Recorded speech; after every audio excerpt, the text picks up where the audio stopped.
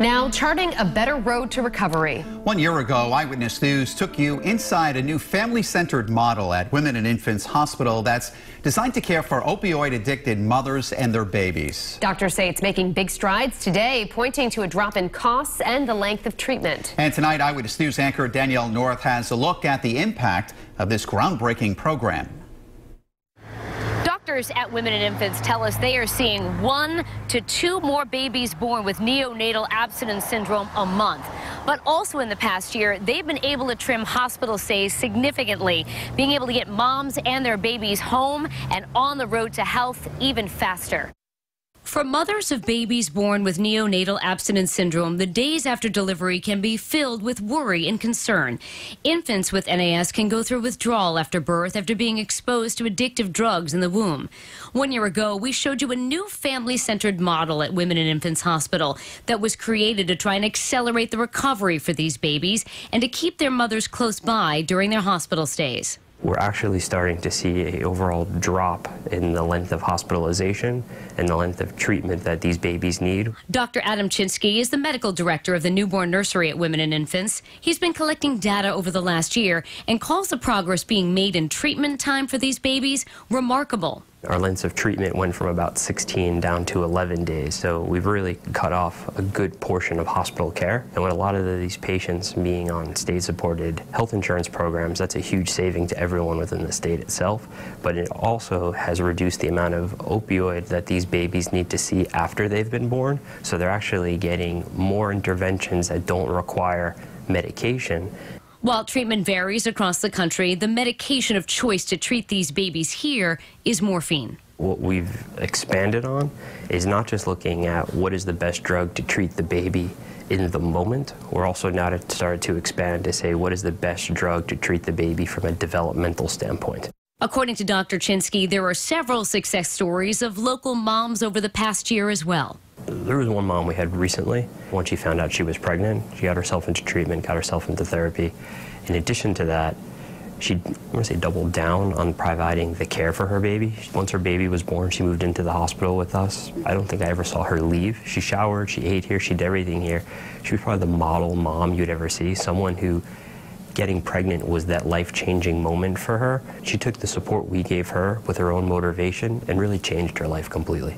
Getting these babies and their moms healthy and back home sooner is encouraging for Czynski and his team, but it doesn't end there. Brown University's Dr. Barry Lester says there needs to be a continued focus on an NAS baby's health and development once he or she leaves the hospital.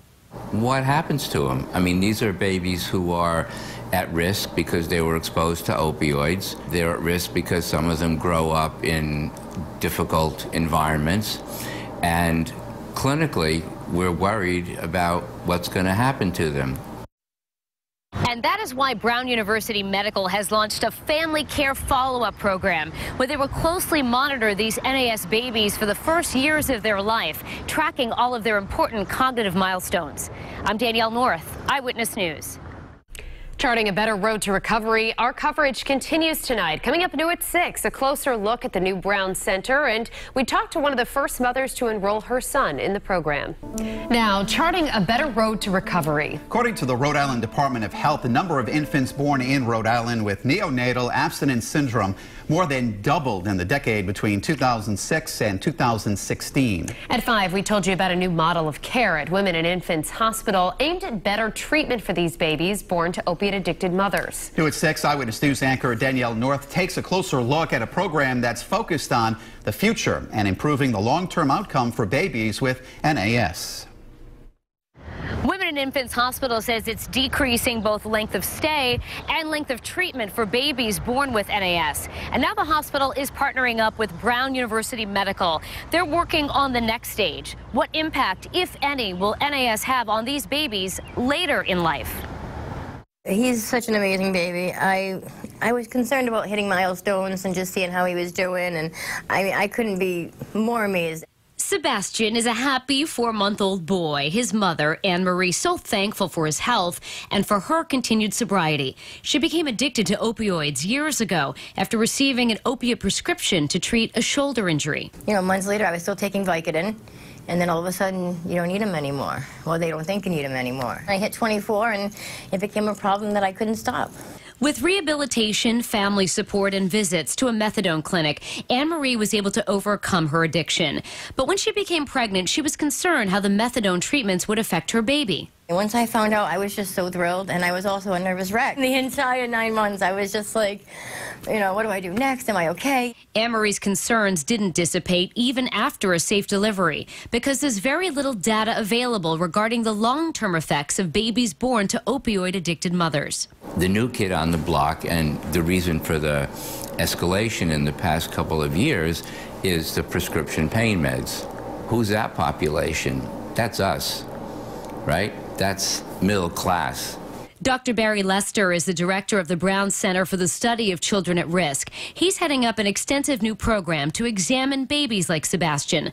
Dr. Lester works with moms like Anne Marie who want to make sure their babies are hitting all of their developmental milestones. What do you tell them? We tell them we don't know. What we do know from the research is that the effects of drugs have to do with the interaction between the drug and the environment. Sebastian will be one of dozens of babies who will be screened on a routine basis. The team at the Brown Center will collect important information that could help benefit other mothers and babies in the future. There really isn't a lot of information, and if you know, listening to my baby's cry is going to help them find a better way, or even a, you know, a, even a faster way. If one of those things can help make it a, easier transition for a mom or a baby, then why not do it? The standardized assessments will then be used for research, but until more is known about the direct impact of opioids on a child's development, Dr. Lester says he's optimistic for the future of babies in this follow-up program who are also being raised in a healthy home.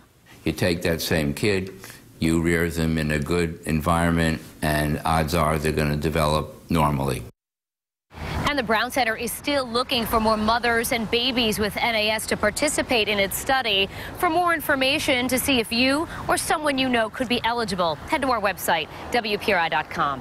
I'm Danielle North, Eyewitness News.